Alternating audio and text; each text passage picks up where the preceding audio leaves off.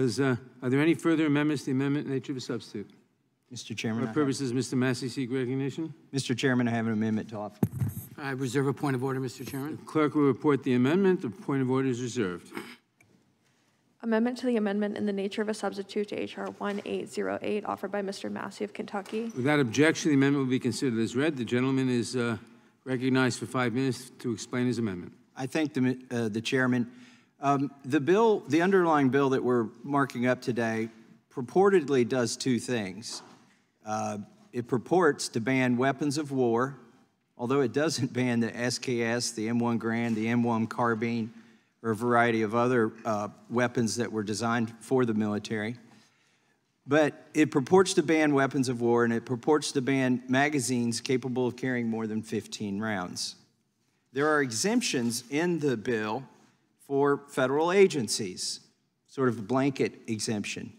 My amendment is simple. It says that the, uh, the exemption does not cover the Department of Education or the Department of Agriculture for either the 15 round and uh, above 15 round magazines or the so called weapons of war. I am at a loss to understand why the Department of Education or the Department of Agriculture would need the so called weapons of war to complete their missions. And um, I would, if, if I may, I would yield to any of the Democrats who want to tell me why the Department of Education needs weapons of war. Uh, Mr. Mr. Swalwell, I'll yield to you. you. I would just ask, if they don't need them, why do you need them? I yield Well, back.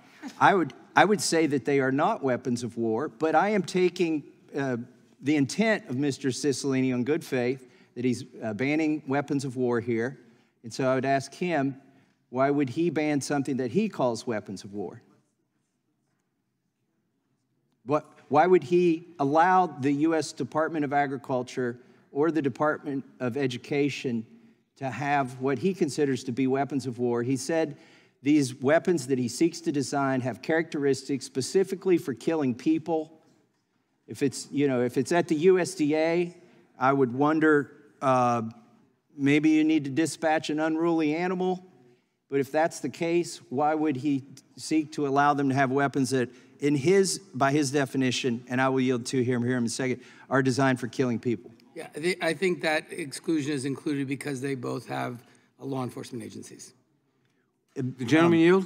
I will yield to the chairman if he would try to answer the question why the That's what I- Department of that's- Education, yes. Department of Agriculture would need so-called weapons of war. Every such department, including the Department of Education and the Department, every department listed, including the Department of Agriculture and the Department of Education, have their own security forces who might need uh, uh, s- strong weapons. I would, um, i like to ask, why do they need more than 15 rounds, and why would they need uh, what the Democrats have mostly characterized as weapons of war if they're not going to war? I, I understand that they might need firearms, and, and I understand that the military should be exempt from, from this prohibition, and the Department of Homeland Security and the FBI and the ATF I'm starting to wonder why the IRS would need weapons of war.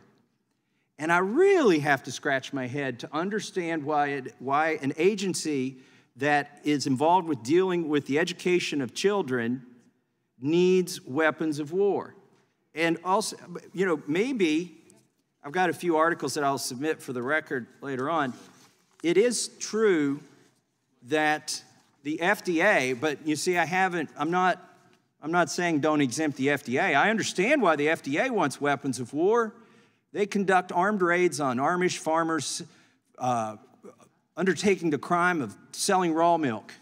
Like, so I, I didn't seek to exclude the FDA from your exemption, but I cannot understand why the USDA, a department tasked with helping farmers, is, needs weapons of war or how they would be able to help farmers with weapons of war if they show up with them.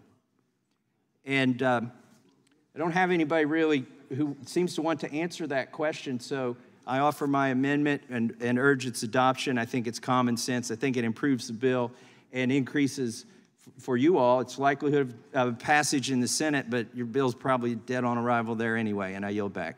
Chairperson, does the gentleman from Ohio seek Uh, recognition? Strike the last word, Mr. Chairman. Gentleman is recognized. So uh, the, the, the basic principle here is this. Under the legislation, if the legislation passed, law-abiding citizens will no longer be able to purchase an AR-15, the most common rifle in the country. No longer be able to do that. But, but, the government will. Even bureaucrats at agencies like, as Mr. Massie's pointed out, Department of Education, Department of Agriculture. Now, something just doesn't seem right about that. That just seems strange to me. Yeah, and I think if you ask, you ask folks in the Fourth District of Ohio that I get the privilege of representing, they'll say, "What? That that's what this bill allows?" So that's that's all that's all this amendment says. Like, look, FBI, okay. Department of Education, probably not. Probably. Yeah, I mean, it's like th- th- this is this is pretty simple. So I'd be happy to yield more time if he's got more to say, but it- it's it's pretty basic. But I'd be happy to yield to the gentleman from Kentucky. Well, to enter these agencies, you have to go through a metal detector. And uh, they have a civilian mission. They do not have a military mission. And I think Dan Bishop said it well. Uh, This, it really begs the question, are these, and- and I'm not saying it as well as he did, but how can you say these are weapons of war and then argue that they need to go to agencies that are not engaged in war and should never be engaged in war? And let me just reiterate a vote for the underlying bill after voting against this amendment is saying that you think that these, what most Americans would think are uh, benign agencies like the Department of Education, we're the government and we're here to help, like the Department of Agriculture, we're the government and we're here to help. Most people don't think they need weapons of war, that they don't have a military style uh, mission. And, uh, you know, I'm, I'm not contending myself. I am taking at face value that Miss, Mr. Cicilline and what Mr. Swalwell says that these are weapons of war. They're clearly not weapons of war.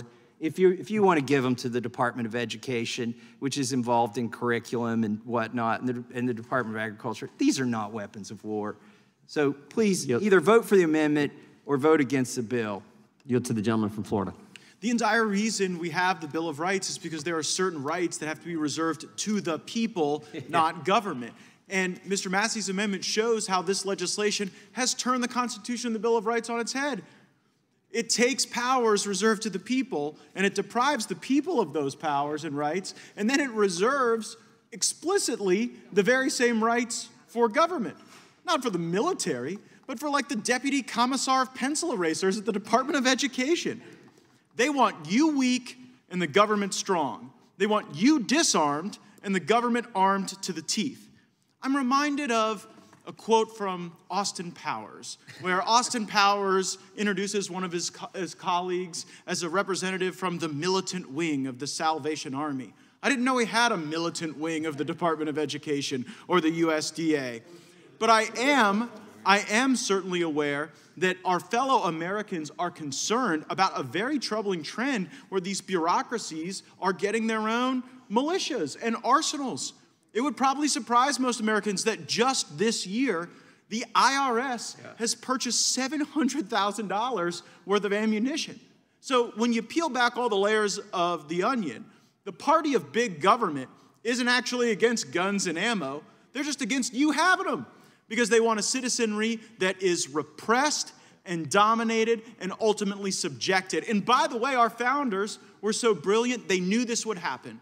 And they knew that the Second Amendment wasn't going to be about hunting or self defense, but about curating an appropriate balance that is necessary for a free society where we don't have to live in fear that one day some deputy administrator from the Department of Education is going to knock our door down and that as a result of us not having the appropriate protractor, that we're somehow going to be in a, in a disadvantageous position regarding our safety and far more important regarding our liberty. I yield back to the gentleman from Ohio. Yield to the gentleman from Kentucky. And as the gentleman from Ohio has pointed out several times in this committee, if they want federal agents at the school board meetings, we don't need the Department of Education to go. The FBI is already there. now we'll yield back to the gentleman from Ohio. I Yield back, Mr. Chairman.